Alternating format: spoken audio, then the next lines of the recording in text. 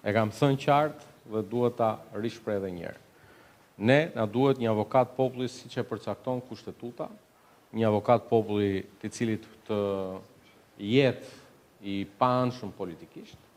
Arsyeja pse kemi refuzuar një kandidaturë e cila ngeli si kandidaturë e vetme në procesin e fundit të zhvilluar për këtë çështje në Kuvendin e Shqipërisë, ishte qartazi sepse ne nuk mund të votonim avokatin e Partisë Demokratike si avokatin e popullit. Dhe sa kohë që kemi ndjekur këtë standard në le të themi procesin e zhvilluar deri tani, këtë parim do duhet ta ruajmë. Dhe unë mendoj që ka plot nga kandidaturat që kanë shprehur interes dhe këtu u bëj thirrje Komisionit Çështje Ligjore që brenda ditëve në vijim të përmbyllë procesin e vlerësimit sepse do duhet që komisioni të përmbyllë procesin e vlerësimit se kush janë kandidaturat të cilat plotësojnë kriteret për të vijuar garën më tej dhe më pas vetë kandidatët të kërkojnë mbështetjen me njëzet e tetë firma dhe këtu pastaj do t'i kërkoj opozitës që të heqë dorë nga ajo historia që mbështesin dhjetë kandidatë me nga njëzet e tetë firma a thua që këta kanë dyqind e tetëdhjetë deputetë si opozitë. Mund të mbështesni dhe një kandidat i cili. Dhe pastaj, dhe pastaj,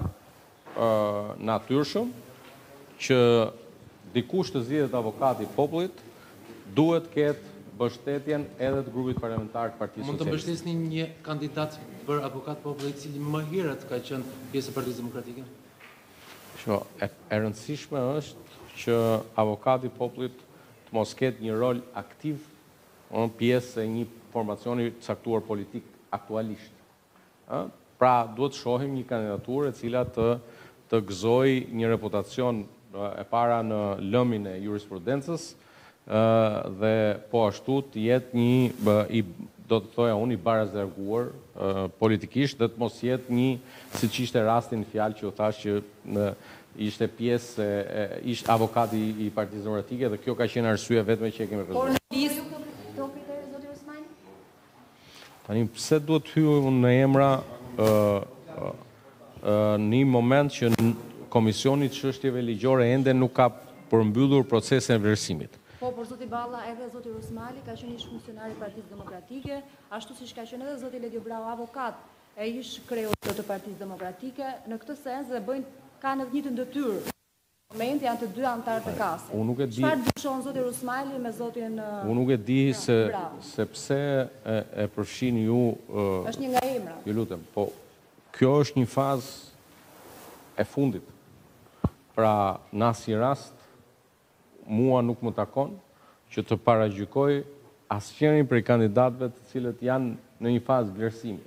Të mbylli Komisioni i Çështjeve Ligjore vlerësimin a i përmbushin kriteret apo jo dhe më pas i takon deputetëve të opozitës të cilët të mbështesin me firma njëzet e tetë firma kandidatin dhe dhe po ashtu do duhet që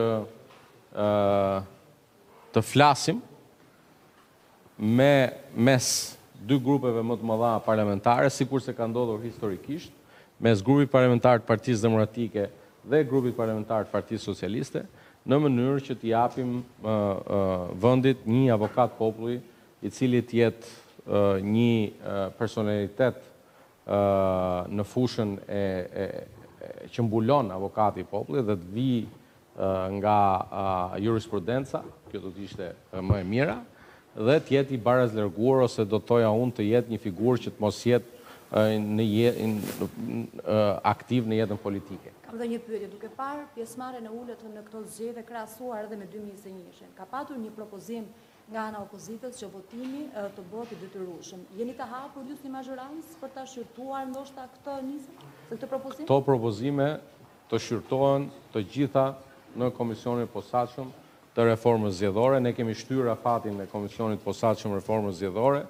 Në fakt kemi diskutuar edhe mbledhjen e fundit të Konferencës së Kryetarëve dhe të gjithë kemi rënë dakord që duhet që ky komision të mblidhet dhe t'i marrë në shqyrtim të gjitha të gjitha propozimet, të mos harrojmë që Objekti i punës janë propozimet që vijnë nga raportet e Komisionit të Posaç, Komision, nga raportet e ODIHR-it për Komisionin e Posaçëm Reformës Zgjedhore dhe unë mendoj që ajo që na duhet është që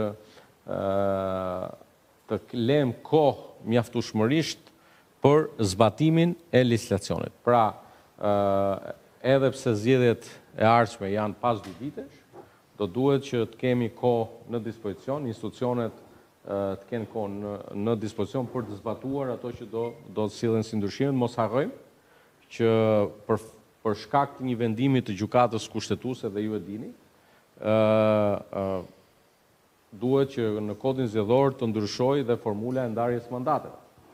Ë dhe në këtë aspekt është diçka që duhet të jetë ë gati dhe të të reflektohet në Kodin Zgjedhor. Votimi i i detyruar me ligj, jeni personalisht ju si kryetar grupi, jeni pro apo kundër? Më falni, e para është që... Një qëndrim tuaj në politikë. Ju lutem.